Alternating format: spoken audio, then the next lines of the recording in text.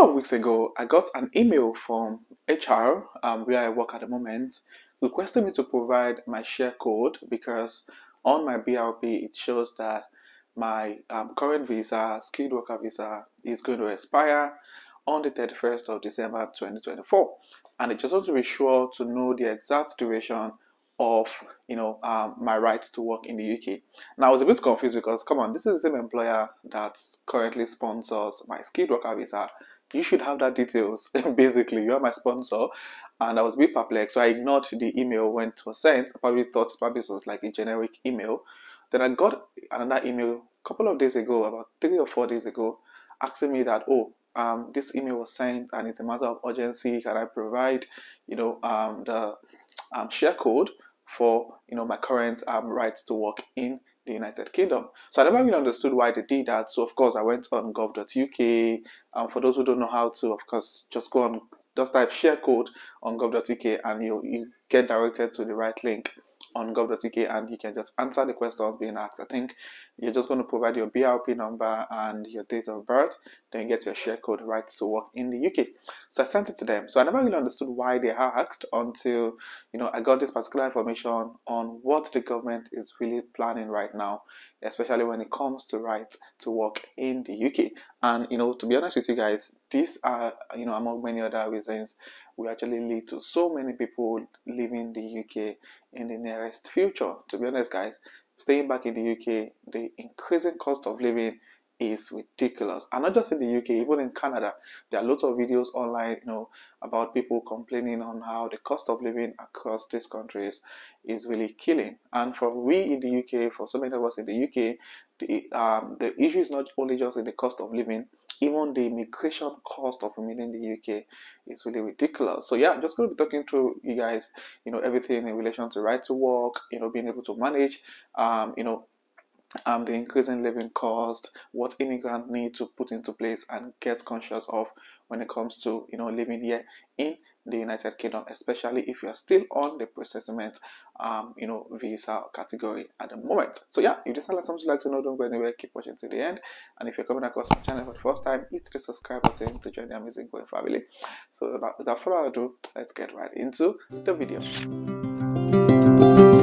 living in the UK right now is extremely expensive, to be honest, especially if you need to switch visa, in a particular visa category, and you need to switch on that visa to another, you know, uh, visa category, basically, especially for students who has got family. Honestly, it's really sad the situation of things, but it is what it is, to be honest.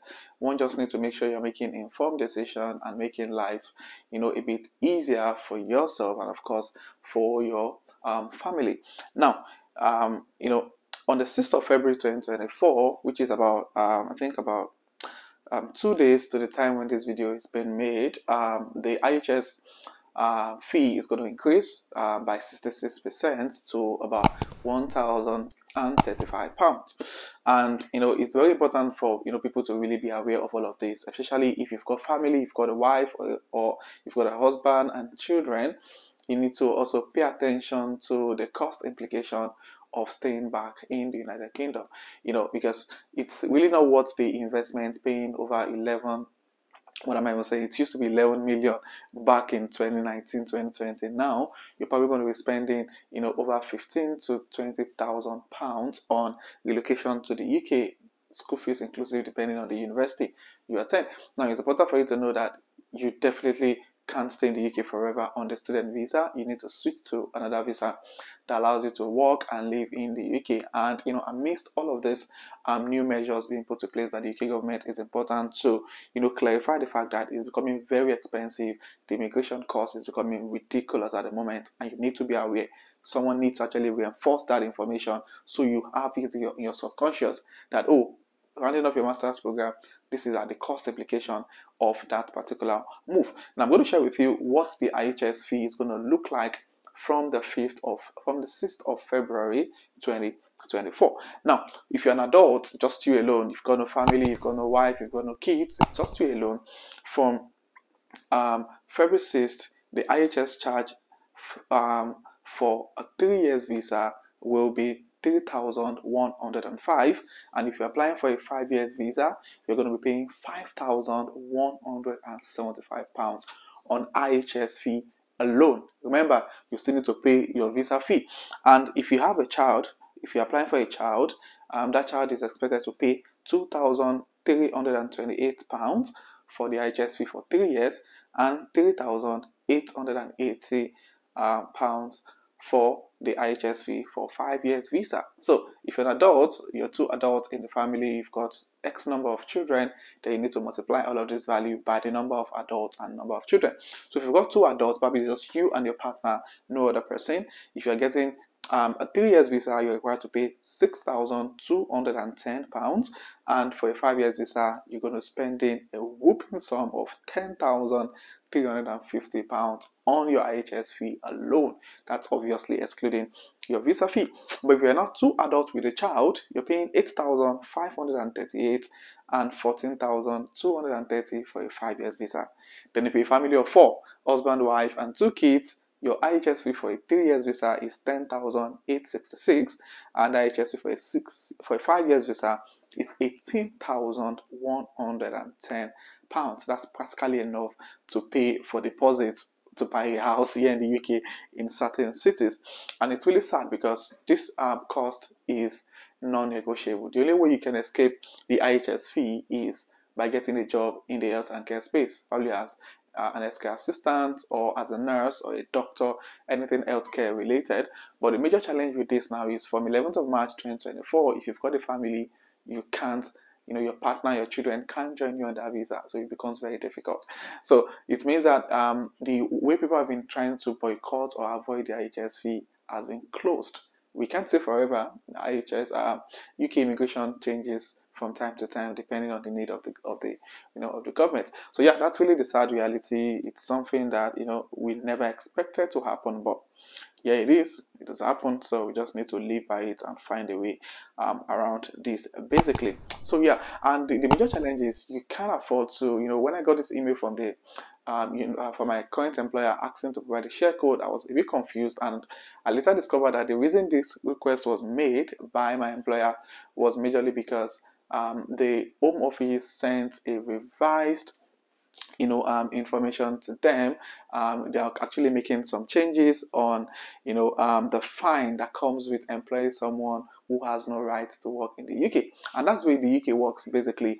Um, nobody questions anything except another person raises an issue on it if that makes sense. So my employer probably don't get to ask any question until someone say oh um, we got an email or a, uh, a circular from the Home Office saying, oh, this X number of fine. Let's read what the Home Office actually sent to these employers. Now, the Home Office Code of Conduct on Preventing Illegal Working has been updated following this month's uh, parliamentary vote, marking um, the most substantial escalation in civil penalties for employers hiring um, individuals without proper work authorization since 2014. Now, effective from February 13, 2024, the right to work fine triples, reaching out to £45,000 per worker for initial breaches and £60,000 per worker for, repeat, for repeated uh, violation. Um, landlords renting to migrants without proper documentation also face you know FTN penalties. So this is not just restricted to employers, even landlords that give houses to people that don't have the rights to live in the UK, they also get all of those um, penalties. So it means that you can't even afford to live illegally in the UK. Unlike the US, where if you don't have papers, you can still survive, you can have a business, you can work, and all of that. But here in the UK, you definitely can't. So that is obviously not an option. So guys, that's really the reality and with the look of things, people, lots of people are actually going to have to leave the United Kingdom because if you can't afford, you're, you're working 20 hours per week and the jobs are not even there anymore. You know, I know a lot of people who are, you know, have been in the UK for months and are struggling to get a job because the job market is becoming saturated, especially for, um, you know, um, these survival jobs that we are you know did or some still do uh, you know here in the UK it's becoming really saturated so it's really challenging to even make that substantial amount of money. So that's why I tell people if you're coming to the UK, please have enough money with you. Don't come here to think you're going to work and pay up your tuition fee. It doesn't work like that anymore. It's really becoming challenging because for every visa you apply for, you are spending a fortune to actually get those visas. So yeah, please make sure you are well prepared, especially for those who have got a family. Make sure you are well prepared. Please don't fall a victim of you know struggling to pay your bills because you came into the UK without proper planning. So yeah, if you have any question in relation to immigration generally in the UK, please text in the comment section.